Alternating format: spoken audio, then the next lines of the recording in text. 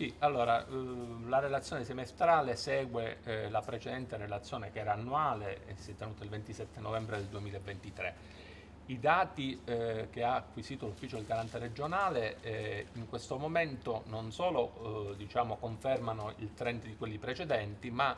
indicano in alcuni settori eh, anche un aggravamento della situazione generale. Eh, questo riguarda innanzitutto il sovraffollamento perché la maggior parte degli istituti penitenziari, dei 12 istituti penitenziari calabresi sono in sovraffollamento, alcuni peraltro eh, che vi indicherò con dei margini molto elevati sono Castrovillari, Locri, Cosenza e Crotone i più elevati.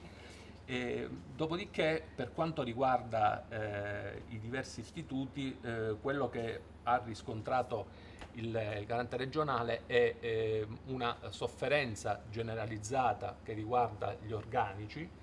eh, gli organici polizia penitenziaria, gli organici anche dei funzionari giuridico-pedagogici con motivazioni diverse, nel senso che ad esempio quelli di polizia penitenziaria eh, che continuano ad essere in grande sofferenza hanno poi dei valori eh, molto elevati in alcuni istituti eh, con deficit piuttosto oh, consistenti, pensiamo a Catanzaro, a Paola, a Palmi e a Vibo Valencia. E questi sono i più elevati. Come funzionari giuridico-pedagogici la situazione è apparentemente migliorata perché sono stati integrati molti funzionari e anche i mediatori culturali però come dicevo prima il problema qual è? Che se prima avevamo un rapporto che era un educatore ogni 100 detenuti, ora il rapporto è mutato e abbiamo due educatori ogni 100 detenuti. Eh, immaginate voi se è possibile affrontare eh, la situazione carceraria in queste condizioni. Per stessa ammissione il capo dipartimento russo ci vorrebbero almeno 2000 in generale funzionari giuridico-pedagogici in più e questo per quanto riguarda gli organici. Per quanto riguarda gli altri aspetti è migliorata eh, la, la, situazione eh, dell'istituto penale minorile eh, dove eh, diciamo, la capienza è massima di 36 posti, è stato molto rafforzato l'organico di polizia penitenziaria, c'è però e continua ad esserci un grave problema che è quello della mancanza dei funzionari e degli educatori, c'è un solo educatore per un intero istituto penale minorile. In più eh, l'effetto del decreto Caivano si fa sentire perché abbiamo avuto un più 23% di detenuti mm,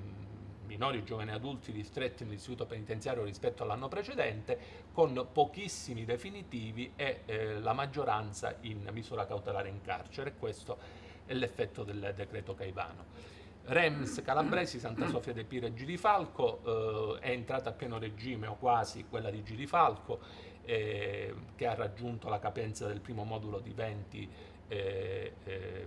pazienti e è eh, a pieno regime anche di quello eh, la, la, REMS di Santa Sofia de Piro. Però quello che è interessante sulle due REMS è comprendere qual è la situazione generale, perché abbiamo sulle REMS in linea di massima eh, fortunatamente non c'è nessuno in questo momento in carcere sine titolo perché non si trova in una REMS in Calabria, ma abbiamo una lunga lista di attesa eh, di persone che attendono di essere collocate ne, nelle REMS e sotto questo profilo il tempo medio di attesa supera addirittura i due anni. E, dopodiché nota assolutamente critica quella che riguarda eh, ciò che è accaduto in questi quasi sei mesi perché questo report riguarda 1 gennaio 12 giugno attraverso eh, i dati del garante nazionale, mi riferisco agli eventi critici. Eh, come sapete lo scorso anno noi avevamo avuto 4 suicidi nell'arco del 2023, ora abbiamo avuto già 3 suicidi eh, nei primi 6 mesi dell'anno, il terzo eh, quello della, presso la casa circondariale di Paola di un, giovane, un giovanissimo la fine di giugno e eh, questo report che cosa ci dice? Eh, ci racconta quello che avviene negli istituti. Vi do qualche dato che è impressionante. Il totale complessivo dal 1 gennaio al 12 eh, giugno è di 5.306 eventi critici. All'interno abbiamo eh, i tre suicidi, il terzo è intervenuto su, successivamente al 12 giugno, ma l'ho incluso, quindi abbiamo tre suicidi eh, nei primi sei mesi, dopodiché abbiamo 80 tentativi di suicidio eh, nel, in questo periodo 225 atti di autolesionismo, 225, e 75 aggressioni fisiche ai danni del personale di polizia penitenziaria. All'interno della relazione semestrale sono indicate tutte le tipologie di eventi critici, quindi le infrazioni disciplinari piuttosto che eh, atti di qualunque tipo eh, che sono accaduti all'interno degli istituti. Questi numeri sono particolarmente allarmanti e eh, restituiscono un quadro rispetto al quale mh, purtroppo, devo dire la verità, non si è intervenuti in alcun modo. Ci sono tutta una, una serie di altre situazioni critiche che riguardano eh, ad esempio eh, al di là delle condizioni strutturali di, di, cui abbiamo parlato, anche proprio la tutela dei diritti fondamentali, cioè la consegna della Carta dei diritti dei detenuti, l'approvazione del regolamento d'istituto, eh, che denotano quindi un calo di attenzione anche rispetto ai detenuti stranieri che mh, in pochi istituti hanno avuto eh, tutto ciò o tradotto nella, nella loro lingua. E eh, purtroppo si era creata un'aspettativa enorme da parte della popolazione detenuta, perché di carcere si parla ormai ogni giorno. Questa aspettativa è stata tradita allo stato attuale da tutti i provvedimenti che sono stati emessi decreto, scusi da, altrimenti ci da parte di tutti i provvedimenti, allora, compreso il decreto Nordio, eh, che presenta delle soluzioni anche condivisibili, ma che sono tutte a medio e a lungo termine eh, dove non viene semplificata ad esempio la liberazione anticipata, dove non viene presa alcun tipo di eh, misura rispetto al fenomeno dei suicidi in carcere che ha raggiunto livelli mai raggiunti negli ultimi vent'anni e all'interno del quale alcune misure come quelle che riguardano le comunità, pur condivisibili, presuppongono l'intervento del privato sociale, delle regioni e della sanità pubblica e avranno dei tempi purtroppo lunghi c'è da affrontare l'emergenza eh, e l'emergenza significa occuparsi di quelle persone che hanno una pena residua di 3, 4, 5 anni che arrivano a 30.000, quindi sono quasi la metà del totale complessivo, che potrebbero uscire dal carcere, mh, mm, che potrebbero diciamo, eh, rispetto ai quali si potrebbe attivare un percorso di reinserimento sociale e che aggravano anche la situazione del sovraffollamento. Quindi su questa tipologia di persone detenute occorre intervenire al più presto. Senta, per quanto riguarda gli agenti di polizia? Eh, sugli agenti di polizia, sul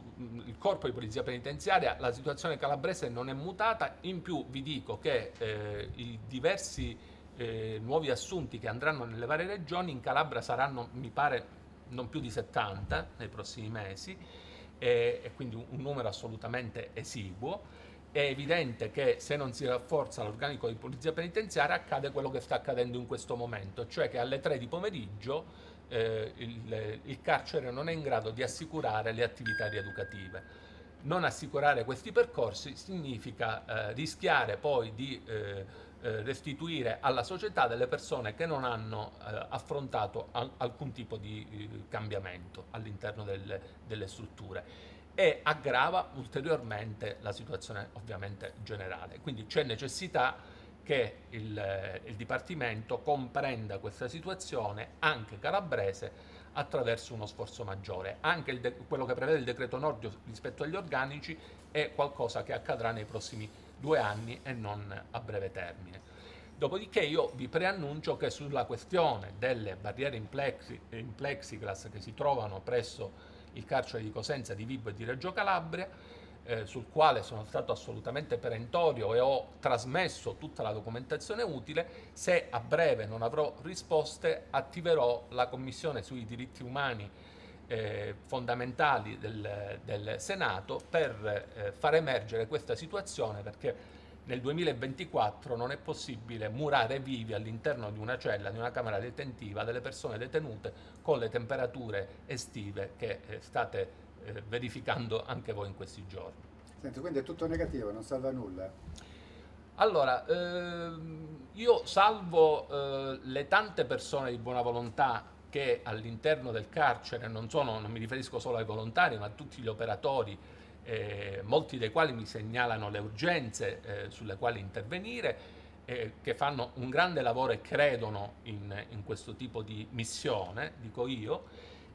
e quello che salvo in più, lo, mi sia consentito, è eh, le linee guida che sono state inserite, i protocolli all'interno della mia relazione, che sono un'assoluta novità. Eh, mi riferisco alle linee guida sulla tutela della genitorialità in carcere, quindi su tutte le garanzie che devono essere assicurate alle persone detenute che sono genitori e ai figli minori rispetto agli incontri e ai colloqui.